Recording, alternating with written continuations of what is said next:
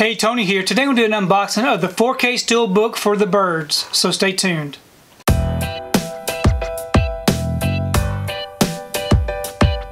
So today I picked up a copy of The Birds. This is a 4K Ultra HD Steelbook featuring the 4K Ultra HD, the Blu-ray, and the digital. Here's the front, and here's the back. Now if you'd like to check out these special bonus features, you can go ahead and pause and do so. I'm to go ahead and remove this from the wrapper and we can take a closer look at this artwork. Okay, I've got the wrapper off and the J card removed. Here's the front of the steelbook. Now it is a matte finish. It's no embossing or no debossing. And here's the back. Me open it up. We got our front and back together.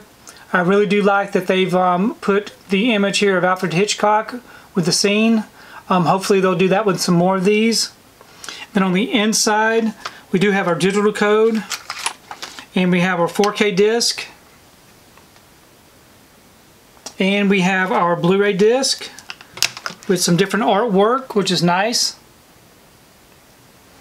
And then on the inside we do have a great looking scene from the movie.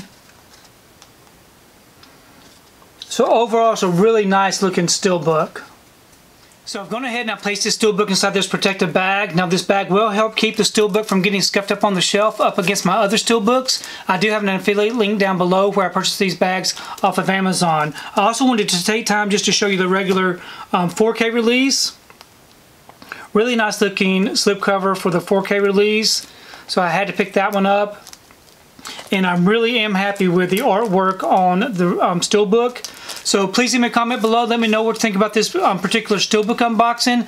And also let me know what you think about Alfred Hitchcock's The Birds. Um, it is one of those classics that I enjoy watching and I'm definitely looking forward to checking this one out in 4K.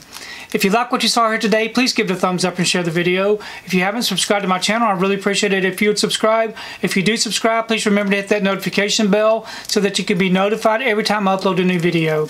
If you haven't found me on my social media accounts, I'm on Facebook, Twitter, and on Instagram. And if you'd like to find out what I've been watching, you can find me over on Letterboxd.